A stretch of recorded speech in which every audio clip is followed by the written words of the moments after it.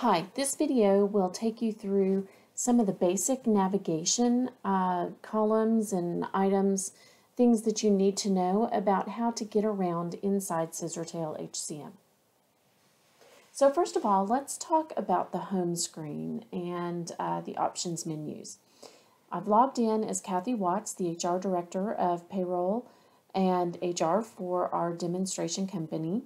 And at the top of each page, you're going to see this header where, uh, you know, there's going to be some, always going to see your Scissortail HCM logo.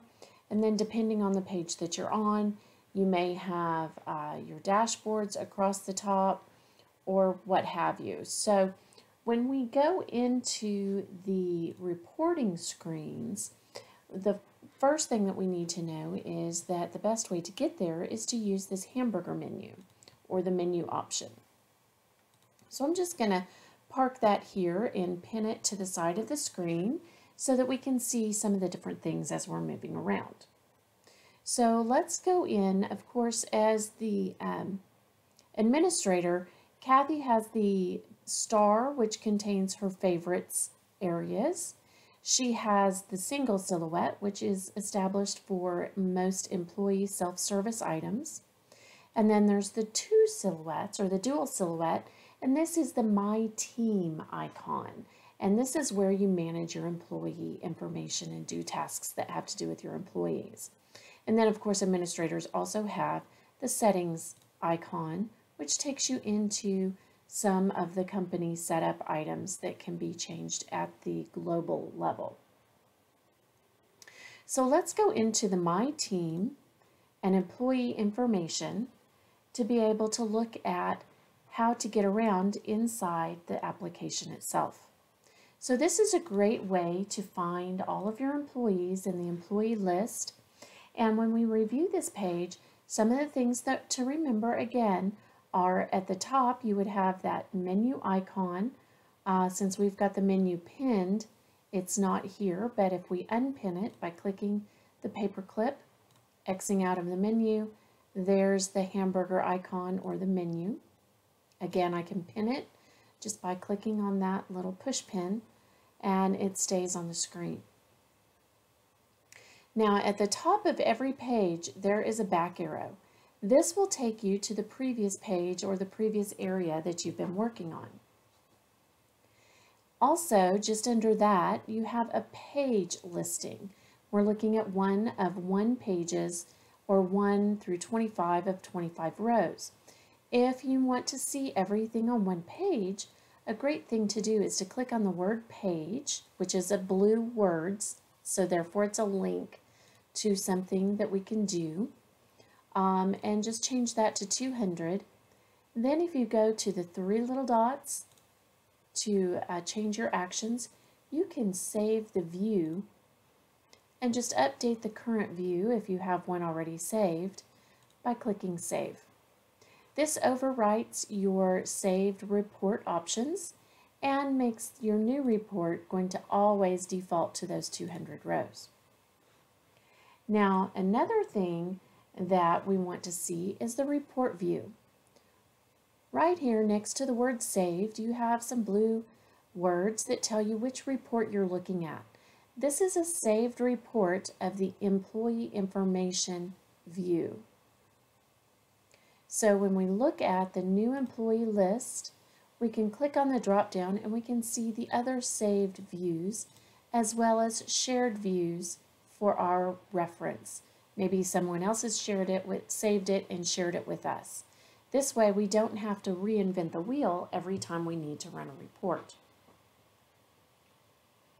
Now up here at the top of the screen, you will see the menu group.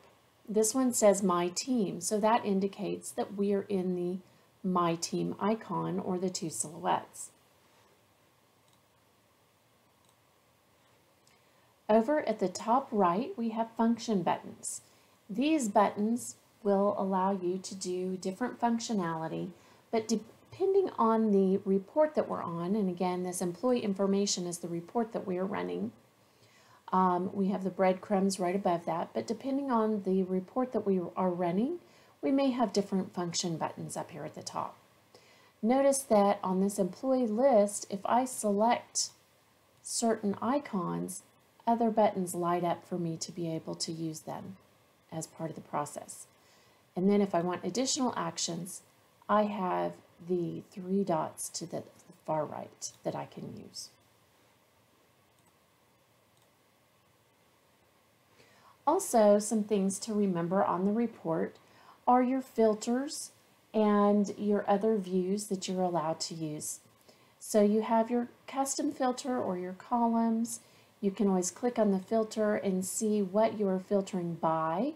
If you have a really wide report, sometimes this is very helpful to be able to see, oh, I'm filtering out not equal to terminated.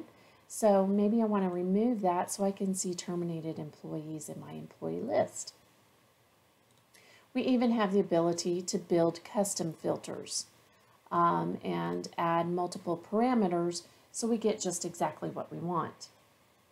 This piece of paper over here with the view data, if we click on that drop down, we can say view data, view charts only, or view charts and data.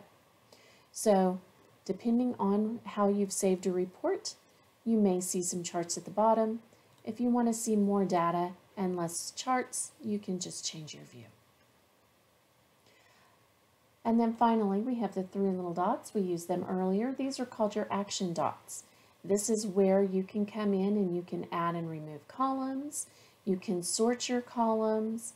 You can even uh, change and save your views. To drill down on an employee, you can just click the blue icon at the very beginning that's a little box with the silhouette. This is uh, the employee information screen and it takes you into the employee's record. So the first thing that you're going to see on the employee record is that you've got the header at the top of the screen with the employee's name. You also have the quick links that will get you to multiple things very quickly. The employee's ID, their original hire date, and their job title. You also have these search bars around the screen that allow you to search for different things. If you want to do a global search for a particular task, you can use the search bar in the menu or you can use the search bar at the top of the screen. If you're on an employee record, it's really nice to be able to use this search bar for the employee record. It's under the utilities button or the function buttons. So you could just type in here the word profiles and it would take us directly to the profile section. Again, on the task-based screens, we can see that we have multiple tabs across the top and you have the Edit Tabs button, which will allow you to add and maneuver and move widgets and things around so that it's more convenient for your work process. You have a jump to menu on the right, or I'm sorry, on the left, which will take you, uh, give you the ability to jump directly to a particular section that will give you personal information, or maybe even base compensation, or down to dates. Each box is considered a widget, and like I said, you could click the edit screen and grab and move uh, information around simply by doing that.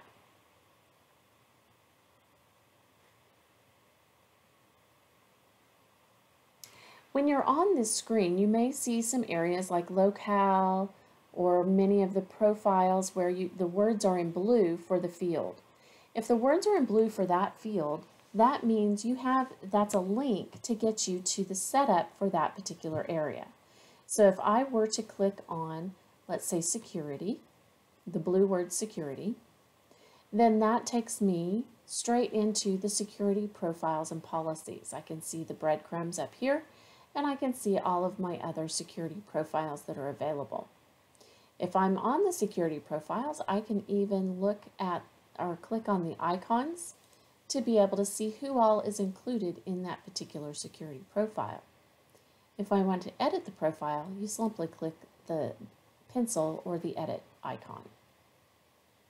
Again, we use the back arrows to go back to where we began.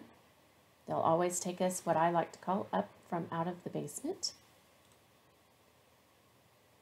And then of course you have the ability to do quick searches for other employees or functions as well as um, uh, to be able to use the menu.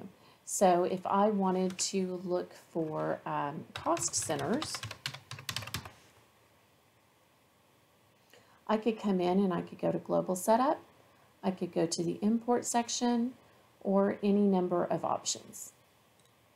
I can do the same thing over here and I can look for checklists. A checklist is uh, a grouping of items that we're going to set up for multiple employees or for different people to be able to complete things like a first day uh, package for a, a new employee, things that will walk them through the things they need to complete.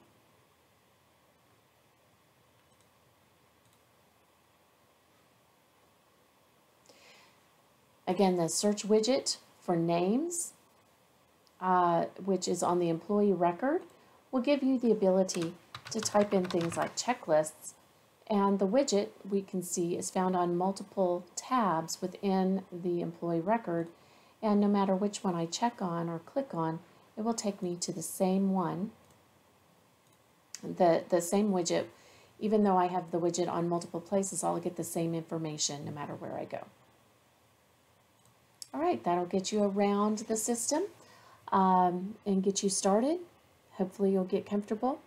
And uh, as you have questions, you run into things, you want some additional information, be sure to reach out to support at cs3tech.com.